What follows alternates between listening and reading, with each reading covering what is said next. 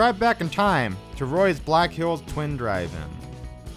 This first outdoor all digital cinema experience gives you the choice between two 80 foot wide screens, both equipped with the 4K digital illuminated projection system. Fulfill your classic movie night at Roy's Canteen, where you can get various snacks and drinks. Also, don't forget to share a bucket of popcorn made from one of the oldest popcorn machines in the country.